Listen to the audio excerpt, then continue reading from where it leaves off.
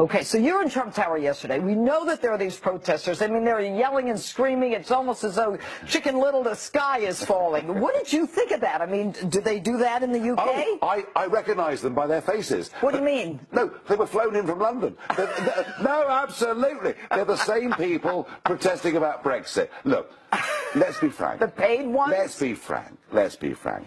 These people were all too busy smoking drugs to go out and vote, and yet they go and protest. You know, come on, forget about it.